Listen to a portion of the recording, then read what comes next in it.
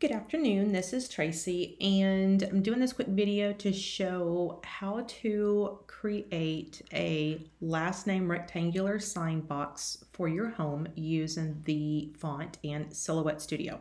So the first thing I'm going to do is we're going to go to DaFont, um, and we're going to look for the welcome font. So something important that you should know about this particular font, it is a commercial use font, but you can download it off of DaFont for free for personal use.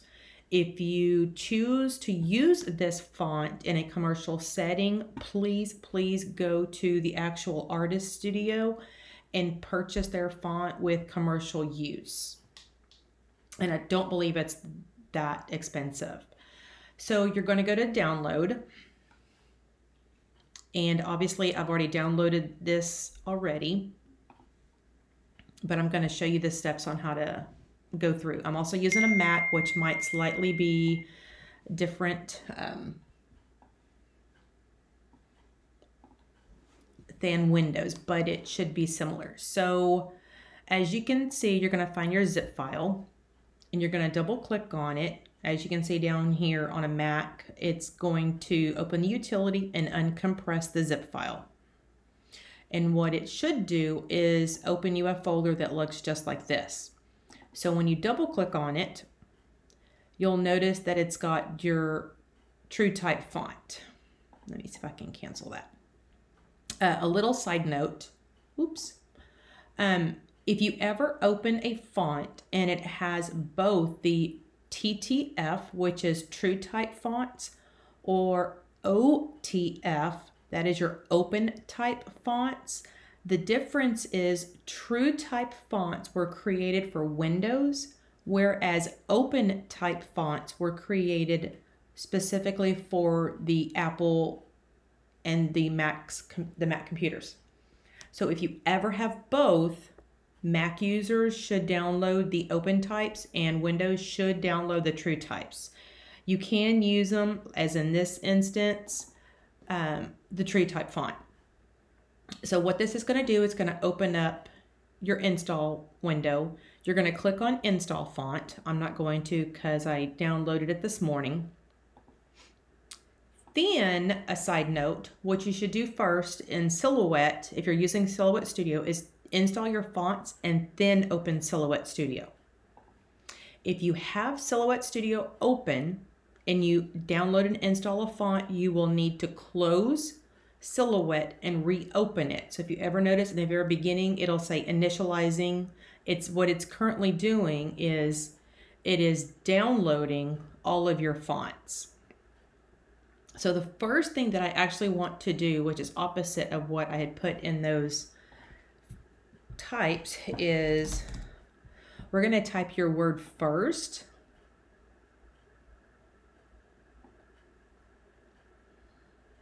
And I'm going to make this really big. Then we're going to come over to our text style window. And we're going to look for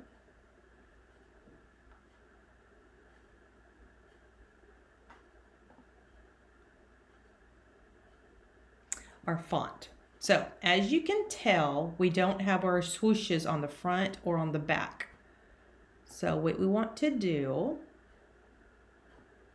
and I know there's a way to show the, the glyphs in Silhouette. Sometimes these load and sometimes these do not. So we're going to change this down to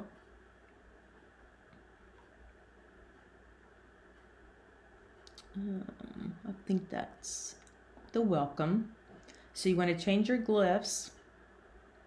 This is kind of hard for me to see on this version. So what I like doing is actually going to the font book. And this is for Mac users. This is not an option in Windows this is how I prefer to use my glyphs. And this is why Silhouette takes so long to open sometimes because I have a lot of fonts.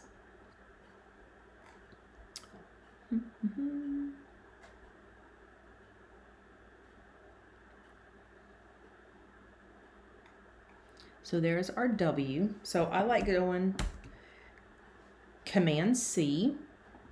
I'm just going to minimize that. I'm going to come over here and double click on our word. And I'm going to remove the W and then Command V. There we're going to get our first swoosh. I'm going to go back to my font book. And then I'm going to find, uh, wrong away,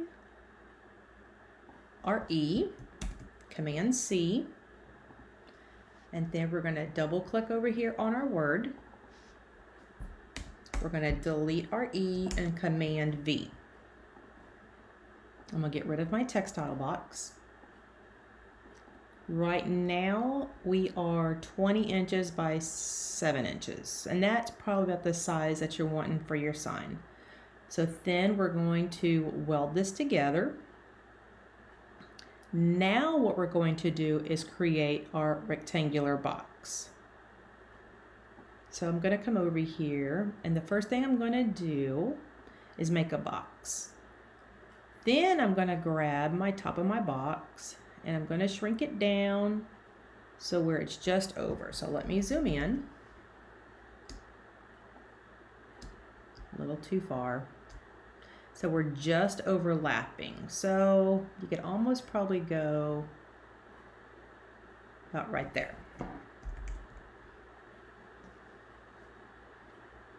So I'm going to do the same thing with my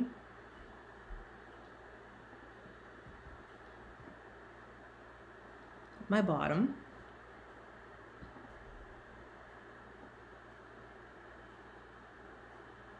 We want to barely grab that bottom hook right there. We're going to come over and do the same thing with our left. So we're just over.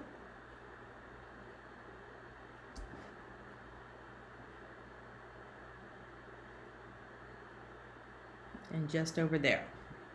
So then what we're going to do is we're going to take our let me center this up some. We're going to take our rectangular box and we're going to create our offset. So we want to do an offset. We want to make sure that we have our right angle corners. And because this is a 20 inch by 5 inches, let's make this. Typically we want to do the same size as the width of our letter. So Let's try a one inch and see what that looks like. That's too big. So let's try a 0.5. To me, that's too thick. So let's go, how about 375? Mm. Um, I don't like that, it's too thick. So we're just gonna keep playing with the sizes. Whoops. You can see what I did. 0.275. I'm really liking that. So I'm going to click on apply. I'm going to get rid of my little offset box. Then what I'm going to do is I'm going to grab all of these and I'm going to weld them again. Actually, I'll take that back.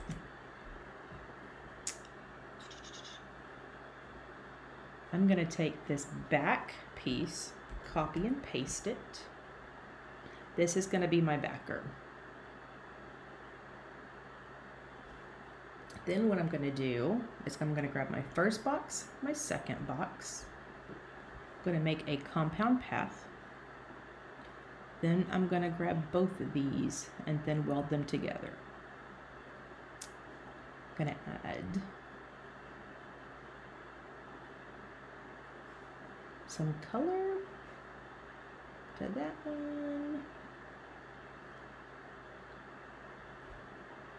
Some color.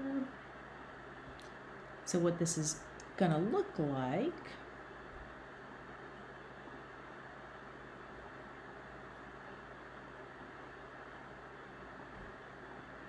in the world?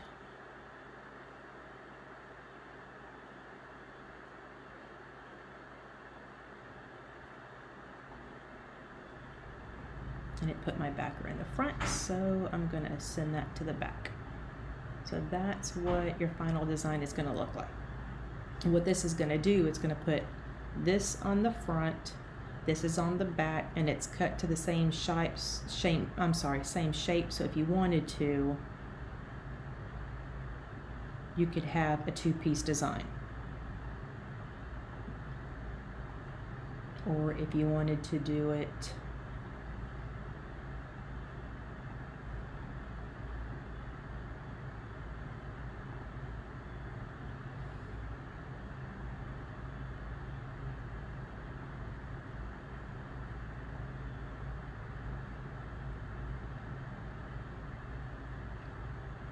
So I'm going to remove the color so you can see both of these. So what this is, you want to make sure that your line colors are red.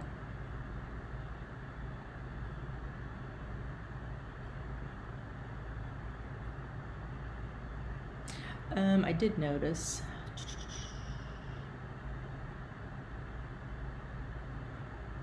Hmm, get rid of this real quick. I'm going to grab both of these on the corner so we don't distort our font and we're going to go down to say 19 inches. That way it fits on your board.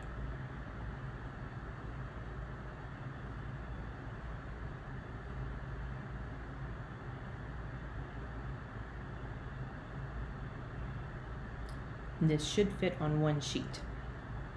So you've got your backer you've got your front piece and if you don't want to and you just want just this piece, you can cut just this one and you don't have to cut this one. So make sure that your cut lines are red. There you go. Then make sure you've got business edition. Then you're going to come up here and go save as, save to hard drive.